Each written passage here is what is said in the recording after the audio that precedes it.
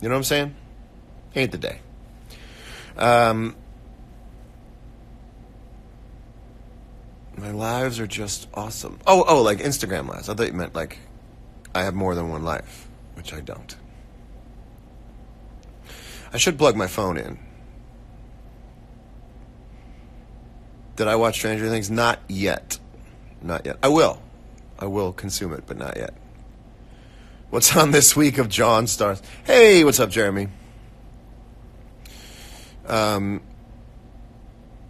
how many unpublished songs have I written? Ballpark? Several. New Miguel record? I'll always listen to a New Miguel record. I will check it out. I know there's that one Pineapple song. I dig it.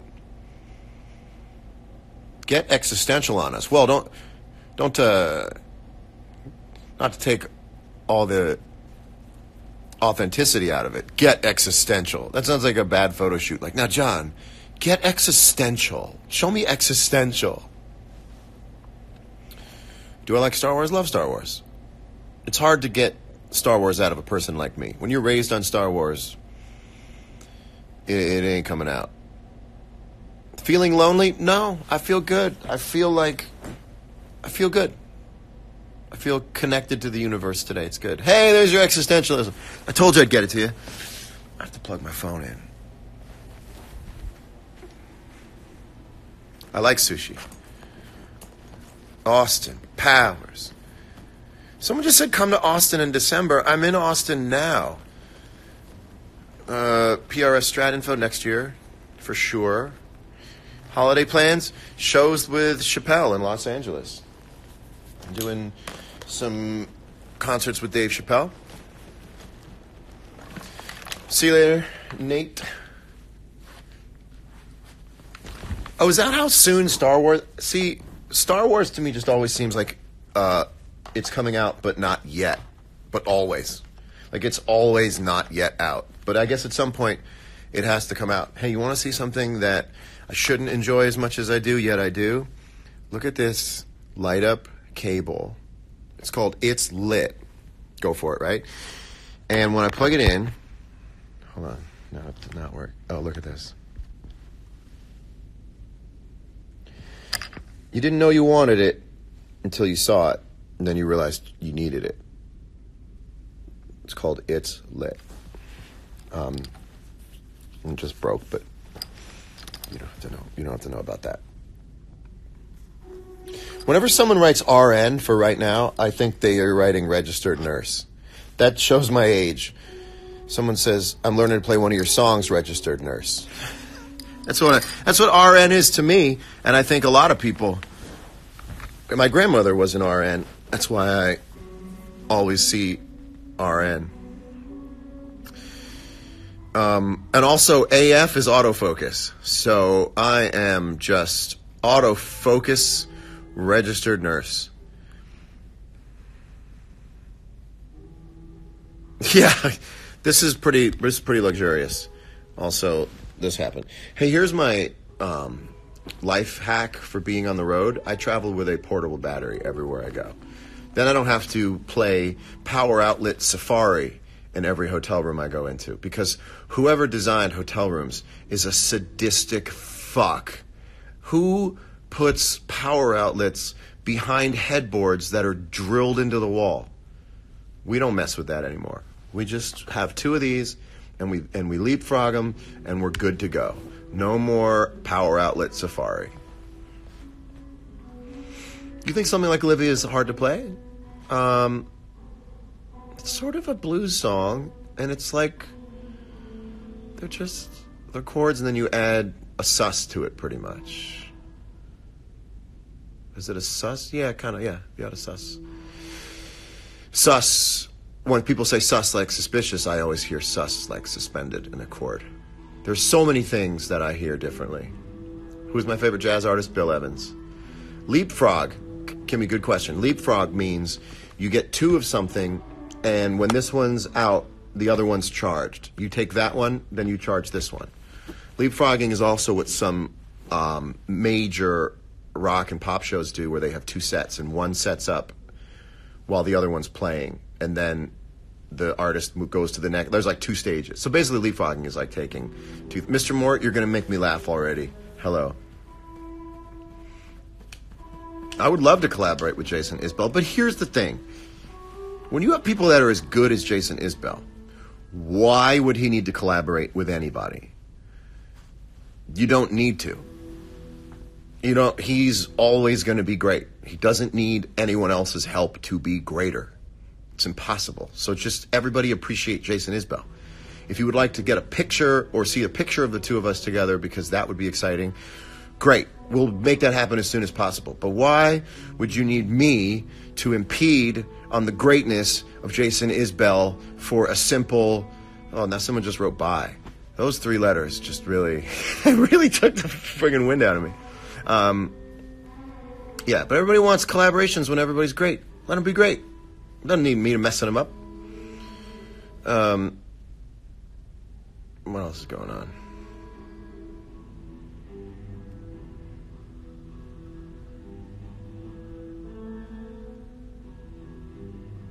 Mario 64 or GoldenEye?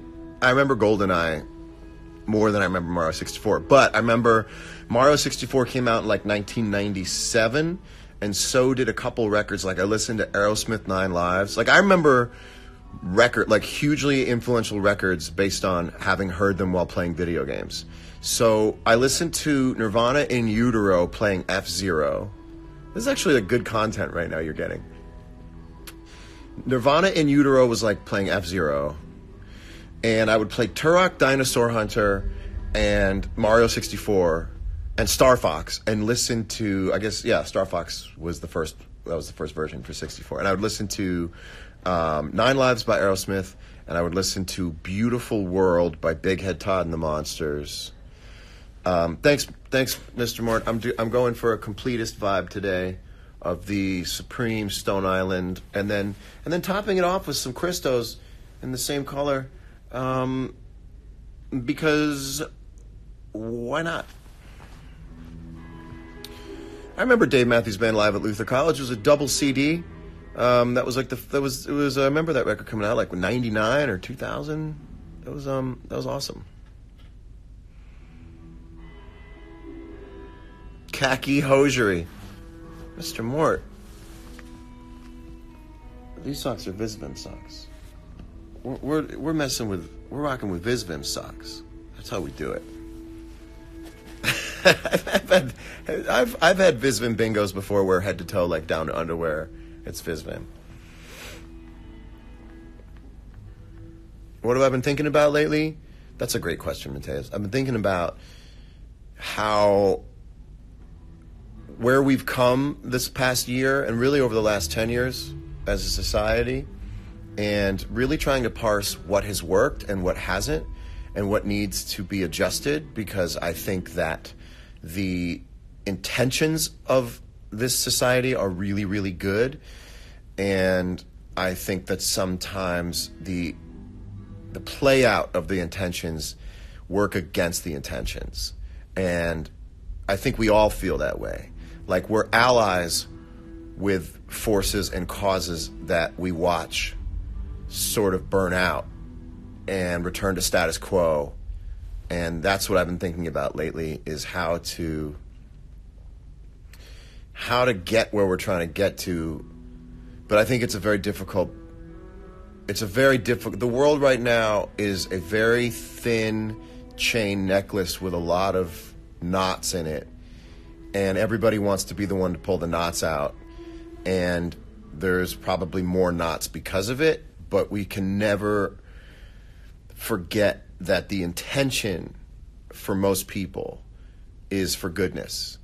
And that's what I think about a lot is like, how do we adjust the sights so that we hit the target better on playing out our intentions? Do you know what I'm saying? If that bored you, if that answer bored you, um, someone asked me that, and I thought it was I thought it was worth answering.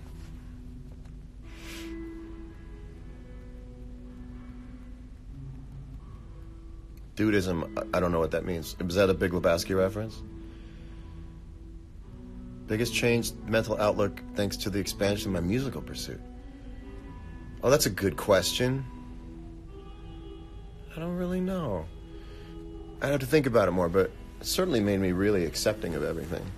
That's for sure. Because in a lot of ways, music you don't like is just music you don't like yet. That's what I've learned. Music you think you don't like is just music that some future you has yet to discover. Okay, I'm about to go on stage for uh, for sound check, but that was really fun.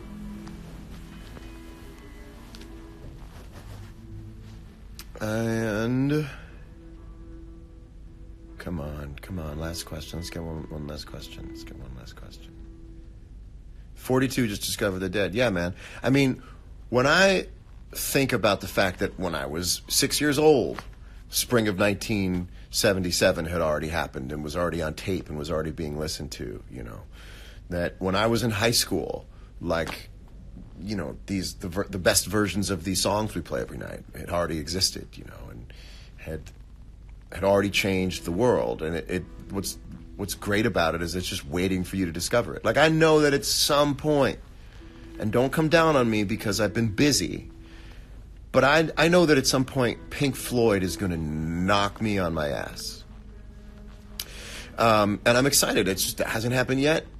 But I'm sure that at some point I will be like, I can't believe that it took me this long to get into Pink Floyd. But we, it takes us a minute. There's a lot. Every year that, every year later that someone is born is an extra year that they have to and get to discover before them musically. Um, will I be wearing this on stage tonight? Probably not. Um, but I'll be wearing it to soundcheck, which I'm going to right now. So listen, have a great afternoon. Um, go buy yourself something nice. And I'll talk to you later. Hey, Ricky. Would I wear what Nikes on stage? Oh, the ones that I put up yesterday? Totally. Totally. What's up, Ricky Van Veen? Um, oh, that's interesting. Take you with me. You know what it is? Like, I'm not 100% sure that, like, I think you'd have to tell. I think it'd be fair. It would be unfair to walk to the stage and pass people and have conversations begin without them knowing that I was on Instagram Live. That would be unfair. So I can't do that. Okay, look, I'd be lying if I said I wasn't uh, looking for one last good hit. I want to go out on a high.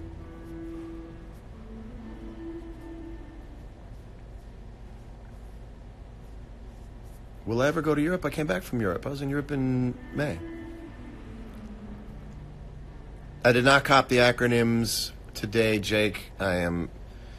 There's another thing. I'm trying to come off of the must-have, the the like, the the the must-have philosophy. I'm just trying to fall off of it. You know, the completist philosophy. I'm trying to trying to disconnect from the completist philosophy of fashion. However, not